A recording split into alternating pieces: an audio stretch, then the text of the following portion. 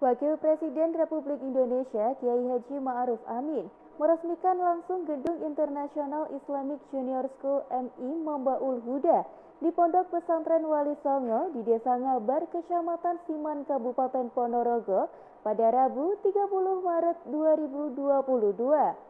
Wakil Presiden Republik Indonesia Kiai Haji Ma'ruf Amin meresmikan langsung Gedung Internasional Islamic Junior School Madrasah Ibtidaiyah Mambaul Huda di Pondok Pesantren Wali Songo, Desa Ngabar, Kecamatan Siman, Kabupaten Ponorogo pada Rabu 30 Maret 2022. Dalam kunjungan kerja itu, Ma'ruf Amin mendapatkan sambutan yang hangat dari para santri dan juga pengurus pondok pesantren. Dalam silaturahmi itu, Wapres juga berkesempatan untuk menyapa langsung dua santri pondok pesantren Wali Songo. Dalam dialog tersebut, Ma'ruf merasa bangga dengan cita-cita besar yang dimiliki oleh santri pondok pesantren Wali Songo, yang salah satunya ingin menjadi ilmuwan matematika dengan menempuh kuliah di perguruan tinggi di Korea. Mantan Rais AM PBNU tersebut juga mengatakan dirinya adalah seorang santri yang saat ini diberikan amanah untuk menjadi wakil presiden Republik Indonesia. Sehingga menjadi seorang santri bukan menjadi halangan untuk bercita-cita setinggi mungkin. Menurut Ma'ruf, sudah menjadi kewajiban seorang santri untuk menuntut ilmu pengetahuan semaksimal mungkin. Karena hal tersebut adalah bagian dari yang diperintahkan oleh Allah Subhanahu wa Ta'ala.